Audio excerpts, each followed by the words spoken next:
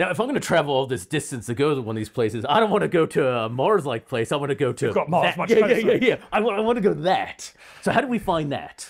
Okay, so we'd like to see at least does the planet actually have an atmosphere? That would be nice to know. Hmm. Is it really the right size? Does it have water? Um, and for that, we're going to have to actually take a picture of it, probably, to work out most of these things. But you just said it's fairly bright to take it. So how do we do that with the star? Yeah, so you're, you're dazzled by the star nearby, which is a billion times brighter. But this is actually a problem that probably will be solved in the next 20 or 30 Okay. years. Okay. Um, there are various, there's a whole bunch of different proposals out there, flying space interferometer telescopes and things like that. This is one particular proposal called HABEX, Yep. which may or may not get launched sometime in the next 20 years.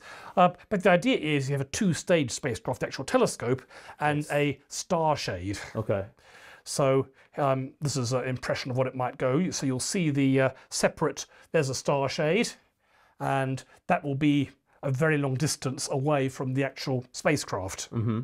So effectively, it's acting as a very long two-stage mission. Oh, okay.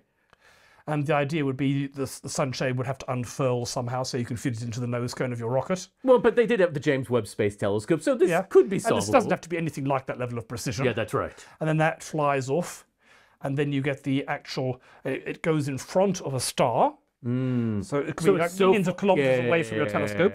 But the two have to fly in formation and line it up. Yep. So this blocks out the light from the star, and with the starlight blocked by the sunshade, you can see it as the then see the planets. So the key is you have to have a this shade really far away from the telescope, but still nowhere near that star, just far away from it. Yeah. Always working They'd both be, say, the Lagrange points of the Earth. Exactly. Um, but they'd be maybe millions of kilometers apart to give you that very precise shadow to allow you to see the details. And there's a lot of work of going on of formation flying, as we kind of touched on with a lot of the technology going on. So that kind of could be solvable as well. Yes, uh, this could probably be done. It would probably be very expensive and take decades, but it's decades, not centuries. Yeah. So probably we will know, um, probably within our lifespans, definitely within your lifespan, Yeah. you youngster, um, whether the planets around nearby stars actually are habitable. Yeah, But that's okay. something we'll know maybe in a couple years. of decades. Okay. And I guess, I mean, that's not that dramatic. It's only been 30 years or so since we actually discovered the first planet, anyways. Yes. That's actually pretty remarkable progress. That's right. But then, of course, we have to go there.